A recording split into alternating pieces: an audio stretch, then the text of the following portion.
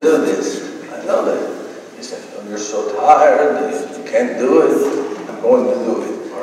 Yes, no, no. When God, when God wants me to stop, He'll say, I'm taking you. But until then, I'm going to preach. Well, you go. Yes, yes. Now, I want you to put for my friend Father Steve.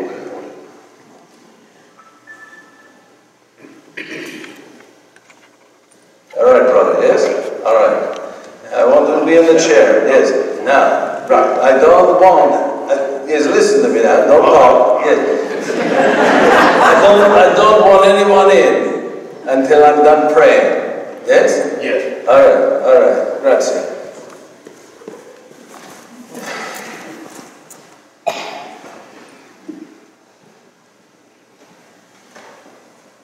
Dear Lord, let me experience your suffering on the cross.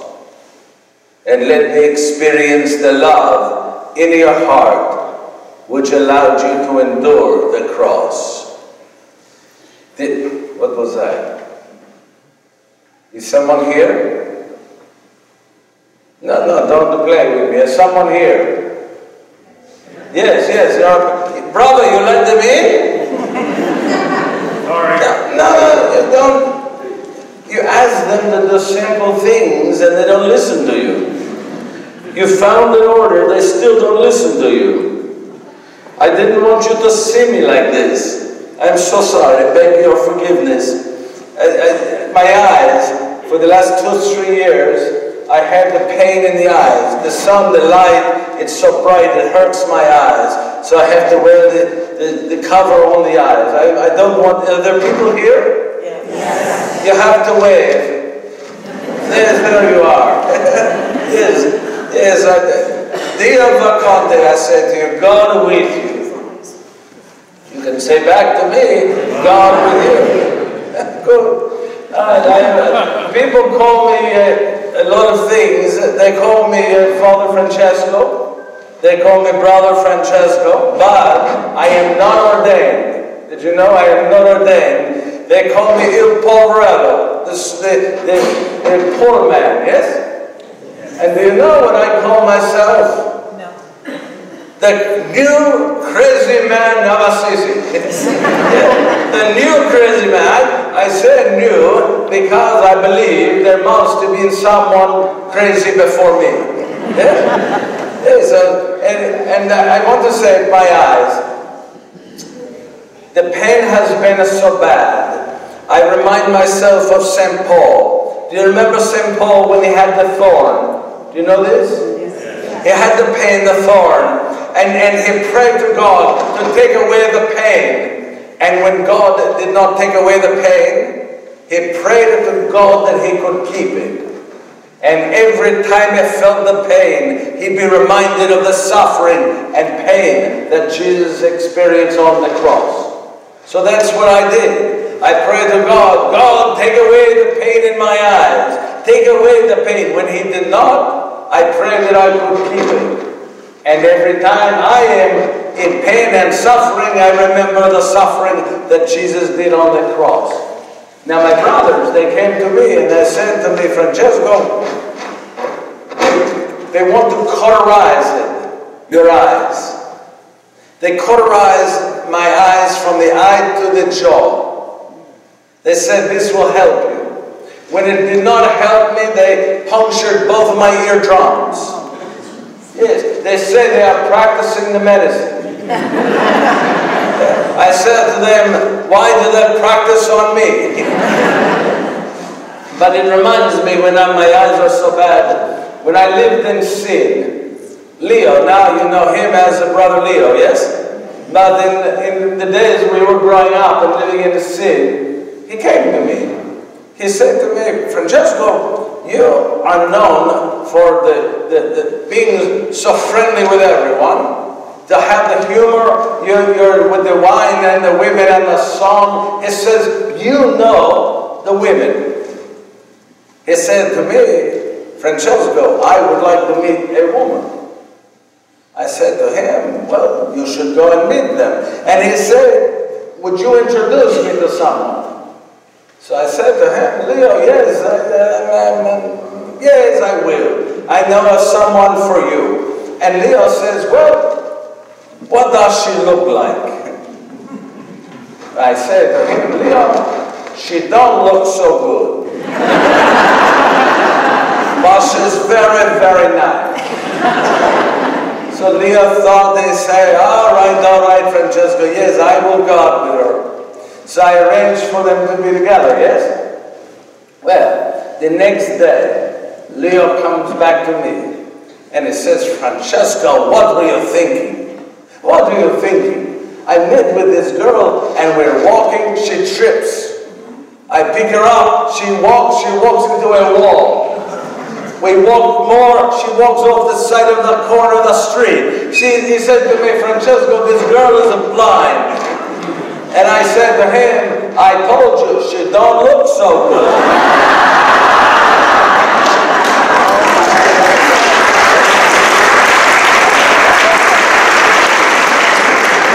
Like my humor, yes? well, I, I am known for the telling of the jokes. And I learned this, I learned this from my uncle. I, I, was, I was raised, as you know, here in Assisi. And uh, my family, my father was Pietro de Bernardone. I think many of you know him. Maybe you owe money to him. And my mother, Pica, wonderful mother, Pica. And I was one of seven children. Did you know this? Yes. And my uncle, when we would have the gatherings, everyone in Assisi seems to have a lot of children. You know? It's they think, oh, well, there's nothing to do. Ah, let's have a child. I don't know, but we had seven children, and the, the Bergamo family, you know the Bergamo, two, three streets away from where I grew up, had ten children. And I remember once we were together as a family, that is a noise, yes?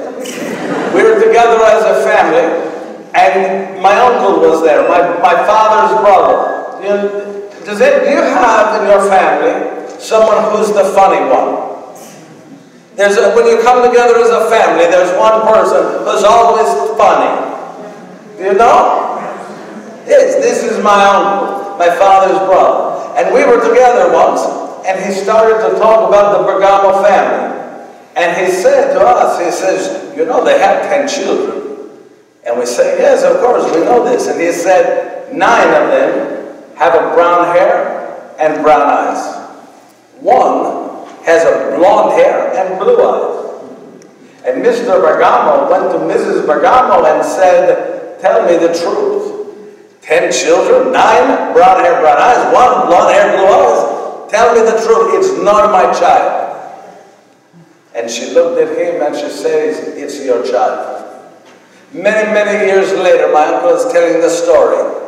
She, Mrs. Bergamo, is about to die. And Mr. Bergamo goes to her and says, You're about to die. You're about to stand before God, your maker, the creator of all things. You cannot stand before God with a lie in your heart. You must tell the truth. We have ten children. Nine brown hair, brown eyes. One blonde hair, blue eyes. Tell me the truth, it's not my child. And she said to him, You're right. I'm about to stand before God. I cannot stand before God with a lie in my heart. We have ten children. Nine brown hair, brown eyes. One blonde hair, blue eyes. It's your child.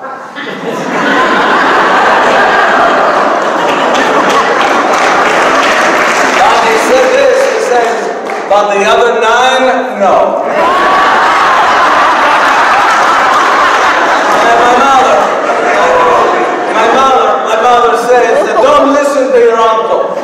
Don't, he says, I know Mrs. Bergamo, I know they're all her children, she said to her. Don't listen, you have an uncle like this or a family member who tells the jokes? Well, how many of you go to school? None of you go, you're like me. no, I never liked school. I never liked, you know, I dropped out of school. I did not like it. I wanted to do, I wanted to do the fun things. I wanted to play. I wanted to sing. I learned from my mother the French love songs. I love to sing the French love songs. I love to dance. I love to tell the stories, the jokes. And my friends Do you know that they called me? In fact, they they, they voted. They came to they voted. They voted me the king of the revelers. Yes, because I was uh, always there with the with the funny story and the, the fun, and I always bought the food and I always bought the wine. It was okay. It was my father's money. my father, I want to say, all of his life, he looked for joy in things. He looked for joy in money. He never found joy. If I found joy in complete poverty, and he never, never found joy. My father is, as you may know, the one of the wealthiest, if not the wealthiest, in all of us. We have the fabric uh, business that he, where we sell the fabric, but did you know he also owns most of this, the buildings and the houses that are here in Assisi, and he rents them out. Did you know he also he loves money? And it makes money on the, the, the, the, the interest that you get back. Did you know this? That's my father. Always, always focused on the money. He never minded that I took the money and bought the wine, the women, and the song because the one thing my father did not have a title. He wanted a title. And it bothered him. And he thought, with all my friends that I was meeting and buying their drinks and buying their food and having the fun, I might meet a woman who had a title. I would marry her that would bring a title into the house. And this is what was on his mind. Well, it did not happen, eh? Well, I also, when I was young, I loved to be a knight. Did you ever dream and dress up when you were young? Of you have to speak. I can't see you very well. That's going to bother me. All right. I used to borrow, borrow the fabric from my father. And I would dress up, always in Assisi as we were children. We would dress up, we would put on the clothes and pretend that we were the knights. Did you ever do this? I wanted to be like the paladin. I wanted to be like the knights of the round table.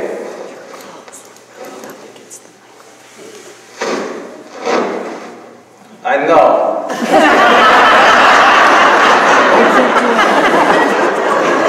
you don't have to kneel before.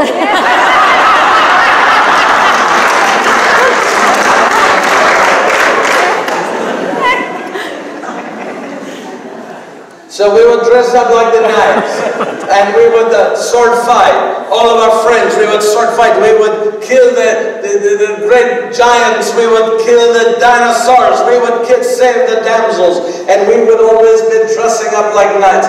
The knights of the round table and the paladins. We were the best knights there were. And I was always the best dressed of all the knights. Well, one day I was called to go to war and I dressed. I was the best knight sitting up on the horse. And I had my lance, and I had my sword, and I had more colors, I think, than anyone ever saw. And I am riding on my horse. We're going to fight a war in Perugia to the north. And do you know, we weren't there but maybe two, three days. And I learned that I did not like war. The only thing I like about war is the clothing, the costume. To see my friends on the ground, they were missing an arm, a hand, they were dead in the mountain. And I was arrested. Did you know that? I was arrested. And I was put in a cell. I was put in a small room. And I was left there for one whole year. One whole year. After one year, my father came. He paid the ransom. He paid the ransom, and I was able to leave. You know what I learned? He could have paid the ransom on day one. he could have, but he did not. He wanted to teach me a lesson, yes? Well, what he taught me was I don't want to go to war. What he taught me was if you go to war, you could die or you're sick. You know that I was sick for one year when I came back. So sick when I came back. And then there was a second war. And I was called to go, and I dressed again as a knight. And I went to be a knight, but this time I had a vision. And in my vision, God spoke to me. And He said to me this He said, Francesco, do you want to serve the king, or do you want to serve the servant? And I left. I walked away from the army. I went back home. And they started to call me a deserter. And I said to them, no, I'm going to find out what it is that God is calling me to do. And you know that I developed malaria. And for one more year, I was sick. I was recovering with a high fever from the malaria. And I began to start to walk in the valleys outside the walls here of Assisi. And I was walking and I was asking God for direction. What are you calling me to do, God? What is it you want me to do? And, and I was praying in a, a chapel called San Damiano. You've been there, yes?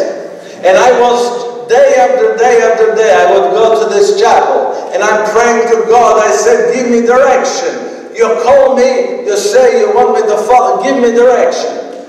Do you know? Well, I was praying in this small broken down chapel, the crucifix, Jesus on the crucifix, he looks at me and he starts to speak to my heart. He said to me, Francesco, rebuild my church. You can see it is in ruins. Rebuild my church. He said, three times he said this to me. Francesco, rebuild my church. Rebuild my church. Where when the vision had ended, I looked around and in San Damiano it was falling apart. Yes? So I went, I began to pick up the stones and put them onto the walls. And at one stone, and then I ran out of stones. So I said, I have to get more stones. So I went to my father's place of business and I took money and I took fabric. And I sold the fabric to get money. And with the money I took, the fabric I sold, I took the money, I bought more bricks. I brought, bought more rocks. And I was building this church with it. Well, this made my father angry. He said, You cannot steal from me. I want my money back, he said. He had no problem in spending his money for the wine, the women, and the song. But when I was spending it to build a church, he did not like it. So he said to the bishop, he says, you must tell Francesco to stop this. So I was called before the bishop in the piazza here in Assisi. And I am there, my mother, my father, many other people. And the bishop said this to me. He said, Francesco, you cannot rebuild the church with stolen money. You cannot do this. So I said to the bishop, You're right, bishop. And I remember I took off my clothes. All of the clothes I took off, and I went I handed them to my father, and I said to him, These are yours. I want nothing, nothing from you. You are no longer my father. I have one father, our Father who art in heaven. And I remember I turned away, I am wearing absolutely nothing, and I am walking to the piazza. Well, the bishop comes and he takes his cloak and he puts it over to me. Did not like to see me walking this way through the piazza. And I walked straight outside the walls of the city of Assisi. I was in the valley, I saw a beggar. I went to him. I said, oh, Would you like this cloak? I'll give you this for your beggar's garb. Do you know we made the exchange? And he gave me his clothing, I gave him this bishop's cloak. And from that point on, I decide that this is going to be what I wear. Beggar's clothing for the rest of my life as I find and try to understand what God has called me to do. Did you know that I was mugged that day? Now think about this. I am now wearing beggar's clothes. All my life I'm wearing very expensive clothes. I always had a purse with a lot of money. Never was I mugged. Now I'm wearing a beggar's cloak with no money and they mug me. I'm thinking the criminals aren't very smart. Yes? They threw me against the side of the bank of snow with no clothes on. They took my clothes. I'm laying there with nothing on, freezing in the snow. But when I came to, I found another beggar, I got another beggar's garb. And you know what I did? I got chalk. On the back of it, I wrote a cross.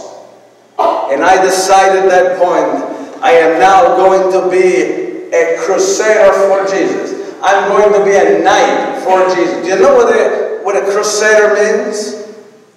It means a cross bearer.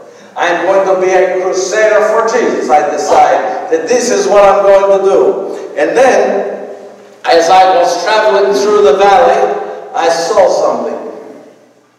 I saw lepers.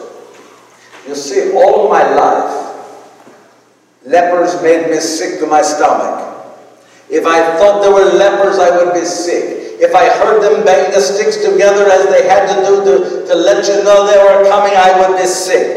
If, if they rang their bell to let you know they were coming, I would be sick. And I would go the other way. I never wanted to come to face to face with a beggar, with a leper. I, they, they, they, they made my stomach curl, made it turn. But this day, when I heard the sticks clashing together, Something inside of me said, go to them.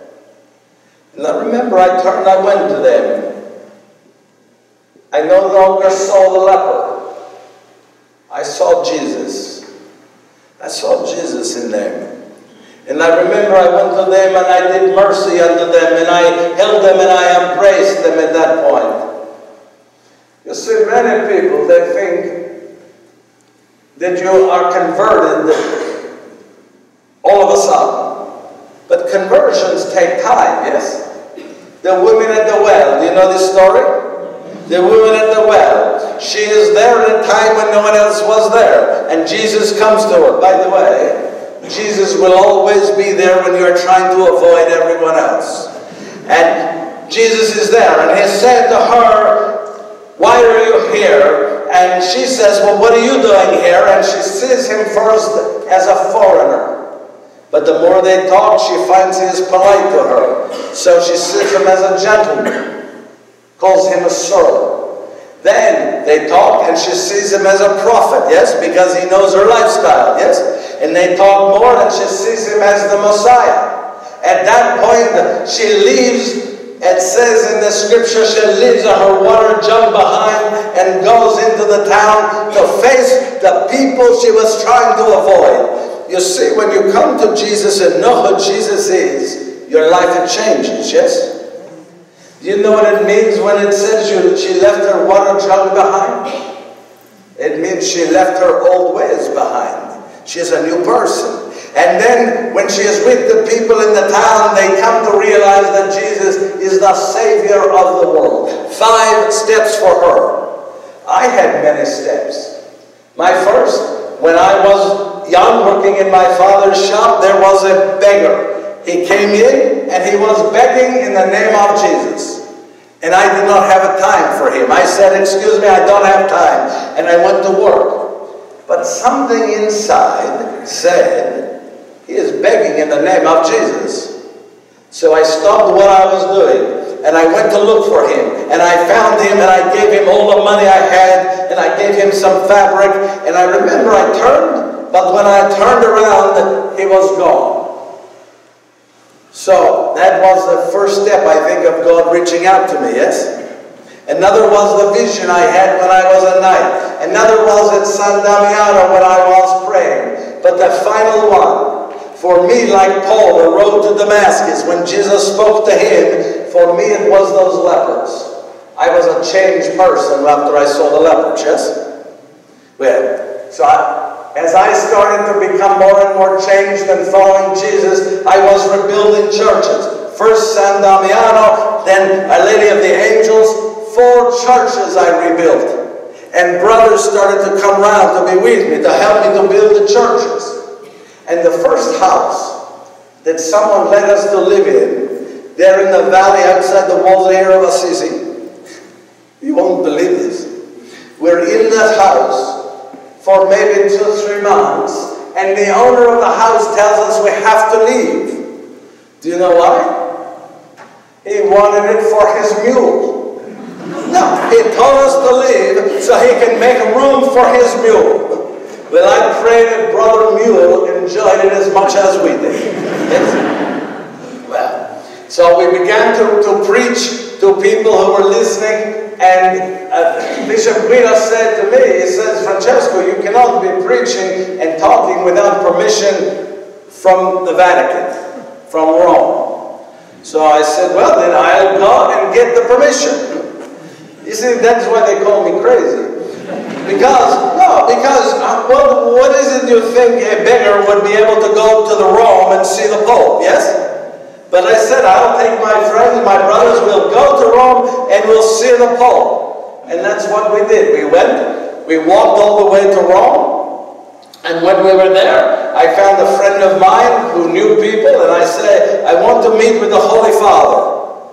And he said to me, Francesco, you'll never meet with him. I said, just ask him, I want to meet with him. So he arranged for me to meet with him. And I remember I went in, and this is the great church St. John Lateran. And I went in, and the Holy Father was there, and he begins to come to me.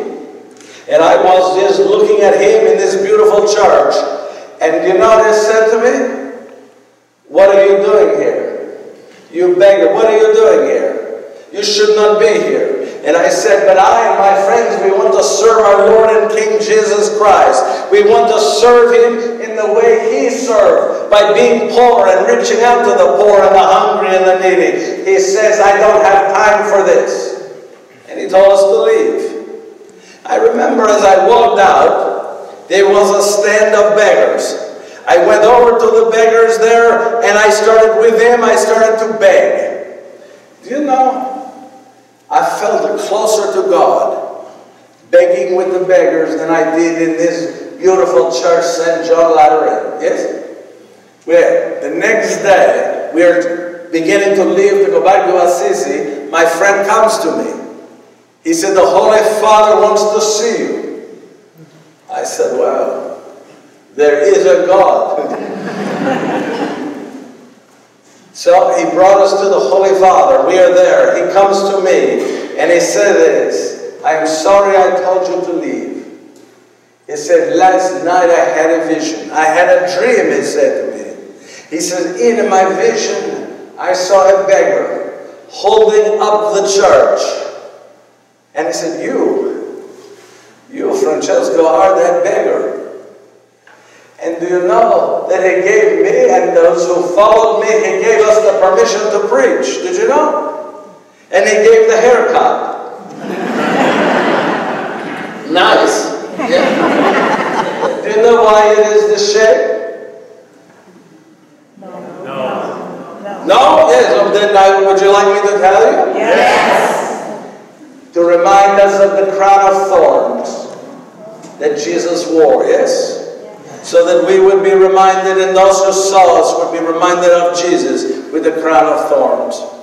Well, I went back to Assisi, and I, I started to preach, but I did not feel comfortable. So I went to Bishop Guido, and I said to him, I said, Bishop, I now have the permission to preach. Can you give me some direction? And he said to me, well, I can tell you what I told this older priest that came to me. He said, the older priest came to me and he said, Bishop Guido, help me to preach better. And I told him this. The bishop says that when he goes to preach, he always starts with a story. So he tells this, this old priest, he says, for example, I do this. And the bishop stood there and he said that I have a secret. I'm not afraid of my secret. I'm in love with a beautiful woman. Mary, the mother of God. And the bishop tells me, he says, the old priest says, yes, I love it. A story to get attention. Yes, of course. And then the bishop says that the old priest next Sunday gets into his pulpit and he stands there and he says, the bishop has a secret. the bishop's not afraid of a secret. The bishop's in love with a beautiful woman.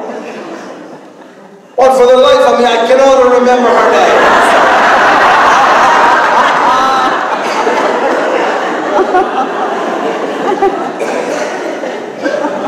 I like that you like my humor. So more and and more people were beginning to follow me, so we had to create an organization. And I named it. You know what I named it? What?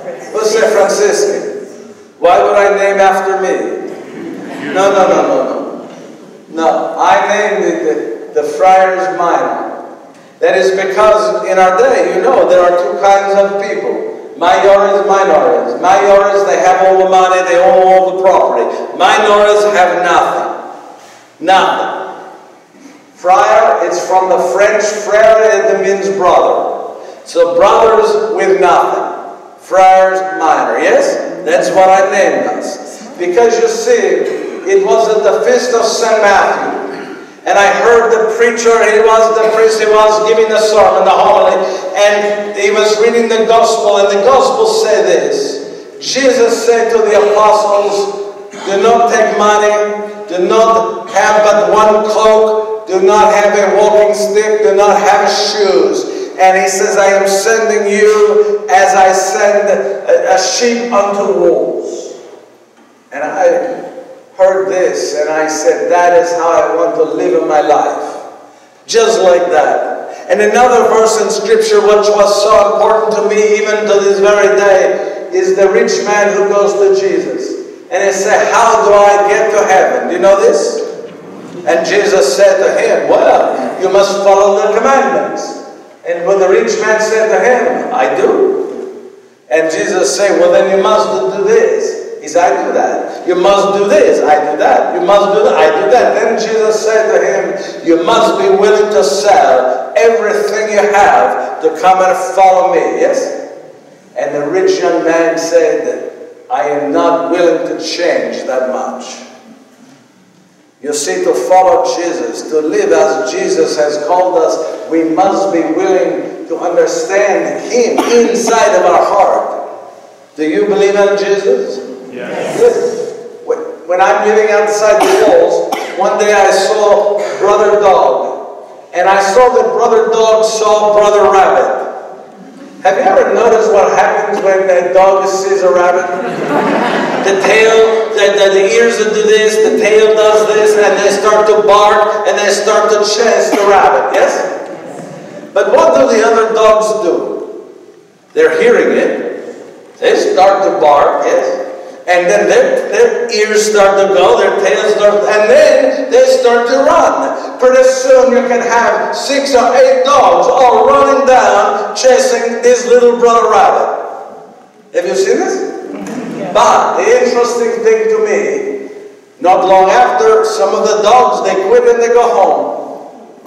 And then more quit and go home. Soon you have only one dog left chasing the rabbit. Do you know which one?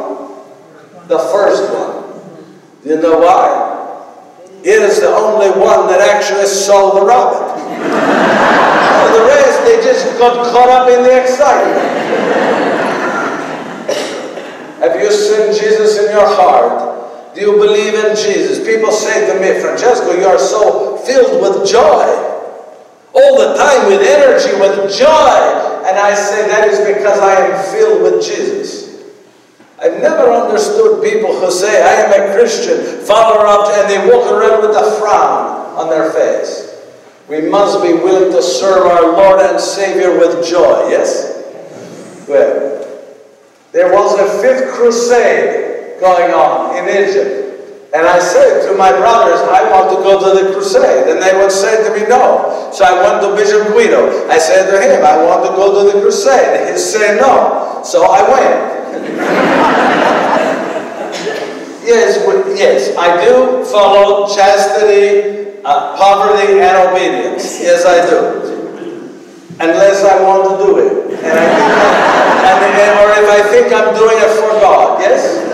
Yes. So I wanted, to, I wanted to go. This time, I must tell you, I fell in love at this time in my life. Does anyone know who is? Claire. Who? The Lady Poverty.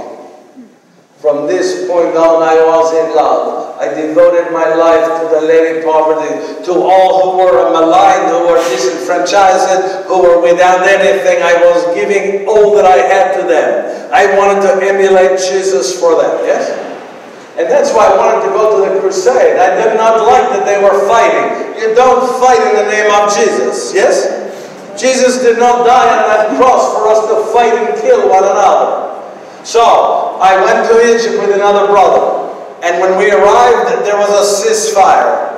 I thought this was God's way of saying, go and speak to the Muslims. So my brother and I, we went into the enemy lines. And we were captured, we were, we were beaten up, we were dragged, and I kept saying one thing. I am here to meet the Sultan. I want to meet with the Sultan, the, the leader of all the Muslims. I want to meet the leader of all the Muslims, uh, Sultan Malik al-Kamil. I want to meet with him. But for some reason, just as God allowed me to meet with the Pope, I was brought before the Sultan. And the Sultan looks at me and he said, why did you risk your life to come and to meet with me? And I looked at him and I said, because I want to share Jesus with you. I want to tell you about my Lord, my Savior, my King, Jesus Christ. And you know what he said to me? He said, we have Jesus in the Quran. And I said to him, what is the Quran? I don't know what it is. And he said, that is their Bible. And I said, well, I don't, I don't read it. I can barely read Latin. I don't read. I have never read the Quran. I said, are you sure it's the same Jesus? I said, is this the Jesus in the Quran? Is it the Jesus who is the son of Mary and Joseph? And he said, yes. And I said, what is Jesus doing in the Quran? You won't believe this. Do you know? He told me, I was surprised by this. He told me that it is Jesus, not Muhammad, but Jesus who is sitting at the right hand of God on a judgment day. Well, when I heard him say that, I said, wow, are you telling me, Sultan, that you are going to be judged in the final days by my Jesus? He said, yes. And I said to him this, then I want to tell you and teach you who my Jesus is. You see, my Jesus is not a Jesus of war. He's not a Jesus of hate. He's a Jesus of love, of peace. Jesus said, Blessed are the peacemakers, for they shall be called the children of God. Yes? And you know, we talked for two or three days, back and forth. And in the end, he said to me this, You have not made a Christian this day, but you have made a friend. Praise be to God, yes? Yes. And then I, he said, what could I do to offer peace?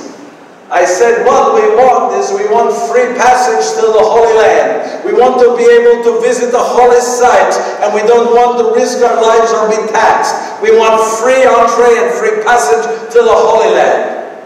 Do you know, I learned that he made that part of his proposal for peace. He listened to me, yes? And it was ignored. And when the war started again, all the Christians were destroyed. They were killed, and the Muslims won the Fifth Crusade. We have to be people who stand for Jesus. And Jesus calls us to love and to peace, yes? The Sultan gave me a gift. I always share this gift with people. He gave this to me. Actually, I wanted it, and so I took it, but... No, I asked for the permission. This, do you know what this is? It's a Muslim prayer horn. They would blow this horn many times through the day to call the Muslims together to pray. I thought Christians need this. So I took it, and when I arrived back into Assisi, many, many, many times during the day, you may have heard it. I'm walking down the street blowing the horn, calling people to prayer. My own brother, he is saying, you're crazy. Stop blowing the horn. You're crazy. He's going to throw rocks at me. He's throwing the mud at me. He says, you're crazy. You must leave. But I kept blowing the horn. Yes? Because I'm crazy for God. I'm crazy in my love for Jesus Christ. Yes? Yes? When I left the Sultan, I went to the Holy Land. I always wanted to go where Jesus was. I remember I was sitting on the banks of the Lake Gennesaret. And in my mind's eye, I see Jesus there on the water. I see him as he's walking on the water and he calls to Peter. And Peter, he walks out to him. And I'm seeing them as they fish. And on the shore, when Jesus says to Peter, Will you come and follow me? All of this I am seeing in my mind's eye.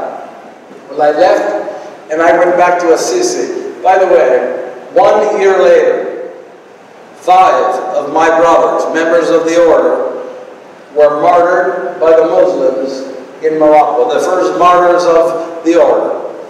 But when I arrived back into Assisi, I was ousted from my own order. Did you know that? Yes. I say that we should have live in poverty and with chastity and obedience, yes? And I say you should own nothing. Do you know I have never owned a book? This Bible I have with me, I borrowed it I may give it back. this Bible, I said to brother, brother says to me, says, I, I want the Bible of my own. I said, if you have one of your own, then it begins to own you. You loan it to someone, then he says, oh, when am I going to get it back? See, when you have possessions, the possessions, they begin to possess you. So I say we must have our attention on God through Jesus, not on things of this world. Yes? That's what I say to them. Well, the brothers were saying, while I was gone, they decide that they want to be like the other orders, and they want to own buildings, and they want to own things. We have at this time, I think, 12,000 members of the Friars Minor. That many was so quick, yes? So they say we have to have property like the other orders. You see, the Vatican said to me, Francesco, you have to have a set of rules. So I wrote rules. I call them the rules of 1221. And the Vatican, they rejected them. They say they are too strict. You, Francesco, you could live in poverty. You can live this way, but you can't expect others to live this way. It is too strict. So they reject them. So in 1223, I wrote more. I submit them to the Vatican. Those were approved. And I said to everyone that I accept the rules of 1223, but I embrace the rules of 1221. Yes? My brothers did not like it, they started to go against me. They started to own property to be like the others. You see, the rules of St. Benedict, the rules of St. Augustine, they were based on St. Luke and the Acts of the Apostles. I wanted to be based on Jesus. So my rules were based on the life of Jesus. They were different, yes? But the brothers, they went in the other direction and we had arguments and arguments and they did not want to listen, so I was ousted. The other thing they did, I said, in our order, everyone is equal. Men, women, rich, poor, priest, brother, layperson, everyone who comes into the order is equal under God. Well, they became levels. If you're a priest, you're here. If you're a deacon or brother, you're here. If you're lay, if you're rich, and I said, this is not right under God. So we had an argument and I was ousted. And this made me very angry. And I remember I went up to the side of the mountain to pray. Did you ever ask yourself how I was able to, to, to deal with these very difficult times in my faith? Two things. One, friends. Friends, Father Sylvester was one, Leo, Brother Leo was one, Claire. Do you know Claire? Let me tell you, this is the most amazing woman follower of Jesus. In 1209, at the year of our Lord, she heard me preach. After that, she decided she wants to follow. In the year of our Lord, on Palm Sunday, 1212, she came in. I accepted her into the order and I cut her hair at that point. And you know, from that moment on, I only called her Christine. I never called her Claire. Christina for Christ. Yes? That's what I called her. So, they were supporters of me. I wanted to go become a hermit. And Claire and Father Sylvester, they come to me, and they say, God called you to preach. God called you to be in front of people, Francesco. You cannot go and run away and be a hermit. The other way I was able to deal with this, with, with how sad and angry I was, was to pray. I would make four or five Lents every year. Did you know this? Yes, I would pray sometimes two or three months at a time in the caves in the side of the mountains. And when I would pray, I would sometimes laugh. Sometimes I would do the somersaults. Sometimes I would cry. Once I was crying and I had somebody say to me, why are you crying, Francesco? I said, because love is not love. God is not loved in the world today. And that was upsetting to me. I would pray. Once I was with Pope Honorius and I'm walking with him. And as we're walking down the road, I just start to dance. I just started, he's looking at me, and I'm dancing there next to him, and all of the cardinals are there. And they, I'm told, they, they started to cry. And someone said to them, Why are you crying? And they said, Because that is the first time we have seen the Word made flesh. You have to be filled with the Spirit. You have to be filled with joy when you serve God. Yes? when you reach out. So prayer. Did you know St. Monica? She prayed for 30 years. 30 years she prayed without stopping for 30 years for her son to come back to the church. She always believed that one day God, in God's time, would answer her prayers. 30 years she prayed to God. And after 30 years, her son, who you know as St. Augustine came back to the church. Praise to God, yes? So I prayed. And I remember after eight months on the side of the mountain and praying to God, I was saying, what did I do wrong? Why did they turn on me? Did you not call me to, to serve you, to be like you, to emulate you to people? I am trying to do that. Why did they oust me? Did I fail you? I said to him. And one day while praying, in the middle of a prayer, I was thrown to the ground. And when I came to onto the ground, I noticed that God had touched me. God had given me the marks of Jesus. And I started to cry. And I said to myself, this is God's way of saying to me, Francesco, you have not failed me. Francesco, you are serving me. You are serving me as I have called you to serve me. You are a good and a faithful servant. And when I knew that, I began to pray to God and I said, I need to forgive. I need to forgive my brothers. I need to forgive those who I'm angry with. And so for months I prayed to learn to forgive. And one way I learned to forgive is by preaching about it. And I was in the town of Gubbio, and I was telling them, you must forgive. And they had a wolf. And the wolf would come in and eat their chickens. And the wolf would destroy their, their crops and their farms. And they decided, the people of the town of Gubbio decide they're going to kill the wolf. So I say to them, you must forgive the wolf. You can't kill the wolf. It is a creature of God. And so they said, no, we're going to kill the wolf. So I went out into the valley and I started to shout to the wolf.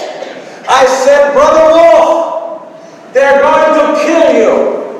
You're destroying and eating their chickens. You're destroying their crops. You must stop it now or they're going to kill you. I have been told that the wolf never, never, never after that ate a chicken or destroyed their crops. Yes, some have said, well, Francesco, he can talk to the wolves. No, I can talk at the wolves. If the wolf understood, it's because God, who created them, spoke to them. Yes? Yes. A lot of people say, oh, yes, Francesco, you're the one who always, you're crazy because you speak to the birds. Have you heard this one? May I tell you how that happened? I was in the piazza, the same piazza that my father and mother, when the bishop says I cannot use stolen money to rebuild a church, same place. And I am there, and there are people.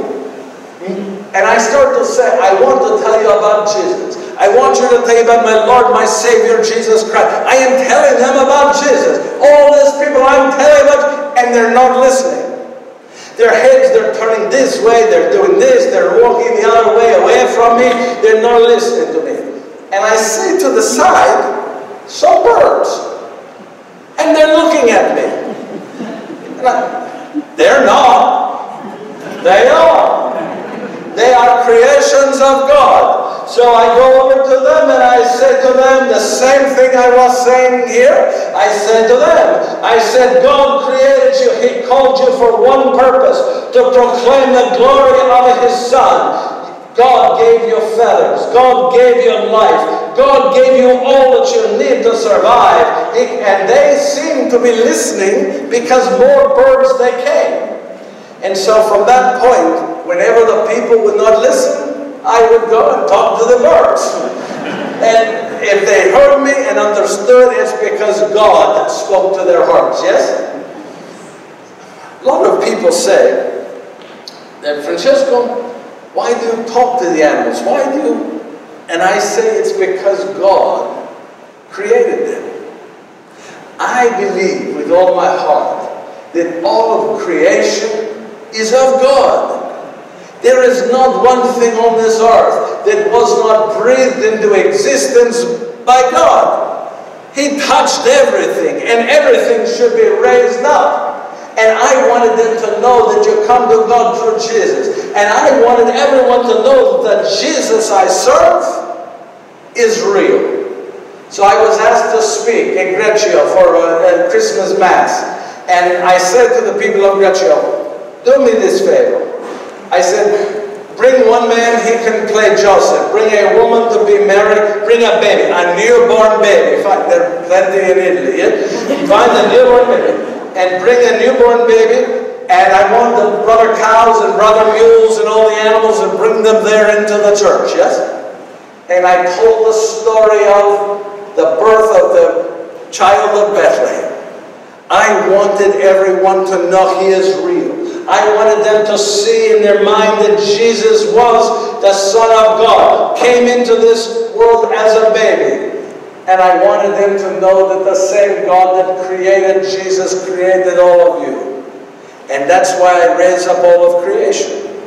Have you heard of the canticle that I wrote? I wrote it just a few months ago. I wrote about praise and glory of all creation to God. You know this?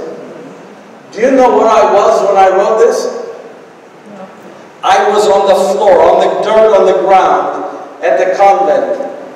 And I was there because my eyes were in such pain I could not be in the light. And I'm on the floor and on the ground, this small cell of the head.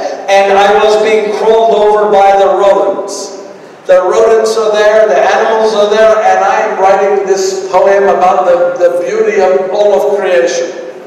I hope that you have read it and you like it, yes? I'm getting tired. No, I am, I'm tired. The brothers, they're telling me, they say me, Francesco, you should not do this because it tires you out. You don't have the strength. They say that I am now have leprosy. They say that I have the malaria keeps coming back. They say that the, the eyes, the pain in the eyes, it, it causes me to be weak. And I said to them, I will not stop preaching until God calls me from this earth. Yes? One reason I've been looking to the back is I'm waiting for Brother Jacobo. Do you know him? Brother Jacobo. Brother Jacobo makes the best almond cookies. no, does. The best almond cookies. And I'm going to tell you a secret. Brother Jacobo is a woman. But you see, women are not allowed back in this part of the church. And I decide if I call her a brother, she can come. Crazy like the fox. I'm going to leave you with these three things. The first is love. Love one another. Love one another. I said to you earlier, God did not send his son to die on that cross for you to fight with each other. He did not do this for you to argue with each other. The best way to, to love someone you don't like is to start every day praying for them. Pray for them. Learn to love those around you. Learn to love those who think different than you. Be a forgiving understanding. Jesus said from the cross, Forgive them, Father, they know not what they do. He said to Peter, Jesus said to Peter, Do you love me? Feed my lambs, tend my sheep, feed my sheep. Are you showing that you love God and you have Jesus in your heart? And the only way you can love God is by loving one another. Second, peace. I said to the Sultan, if you are going to be judged by Jesus, then you must be a man of peace. But are you finding peace in your world today? Are you causing peace or you're causing a strife? You must work toward peace in your family, at home, and in your church, and in your community, and as the world goes, one at a time. You let it ripple out, but you have to strive for peace. This is what God calls us to do. And lastly, joy. Joy. Don't be like these people who say they follow Jesus and they have the frown. And they're so upset and angry and they're mad and, and they're telling you this problem or that problem or they're gossiping about this person and then it happens in our churches, yes? They gossip, oh, do you see that person there? Let me tell you what they did. Let me tell you, stop this. Find joy. You cannot follow Jesus without joy in your heart. And if you don't have joy in your heart, you have to ask yourself, am I truly following Jesus? Yes? So I will end with the same prayer I did when I, I wrote this prayer. And I will teach it to you. Dear Lord, Dear Lord, let me experience let me experience your suffering on the cross. your suffering on the cross. And let me experience And let me experience the love in your heart the love in your heart, which allowed you to endure the cross. which allowed you to endure the cross. Dear Vakante, God with you. God,